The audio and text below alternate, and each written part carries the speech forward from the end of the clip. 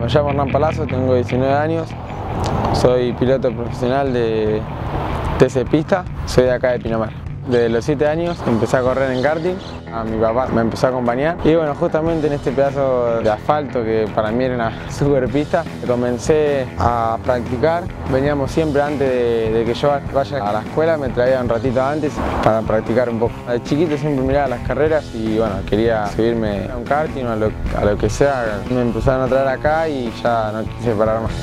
Mi primera carrera fue en Mar del Plata, me acuerdo que me fue bien, me ilusioné y de ahí fui a poquito creciendo un poco en el karting y bueno, capaz que no tomás conciencia de muchas cosas y lo único que haces es disfrutar lo que estás haciendo y bueno, sentís un poco más la, responsabilidad de que tenés que pensar muchas cosas arriba del auto, como la puesta a punto o hacer maniobras correctas porque estás en muy alto nivel y no podés cometer los errores que cometías las expectativas siempre fueron llegar al TC y bueno, de a poquito vamos encaminando a eso. El año pasado peleamos el campeonato de TC Maura, bueno, por las circunstancias de las cosas de carrera no se nos dio, pero estábamos casi un pasito para, para que se nos dé el pase directo al TC.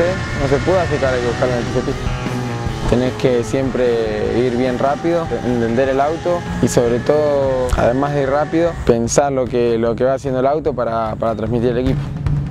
Cuando yo fui ascendiendo de categoría, miro como al mejor de esa categoría y es como que lo absorbo, como que intento decir, bueno, ¿qué hace este chico para andar también acá? Y hasta me intento preparar mucho mejor y bueno, es una categoría donde nunca corrí, no sé cómo me caerá en el sentido de cómo andaré, pero yo lo único que sé es que miro muchas cámaras, hago simulador y bueno, me tengo mucha confianza y tengo que concentrarme en lo mío, en, poner bien rápido para mí el auto y estar bien con mi equipo. Es muy importante tener un buen equipo atrás, son 60% del piloto y 40% del auto. Mi primer podio fue en el 2018, fue muy lindo, fue podio ganando. Me focalicé mucho en, lo que yo quería y en lo que yo podía, con los pies sobre la tierra. Trabajé mucho y bueno, este es un deporte donde es confiar en vos mismo y bueno, confío en mí, en Dios y, voy, voy a lo que me dé. Nunca dejo que me, que me sobre nada, por lo menos arriba del auto.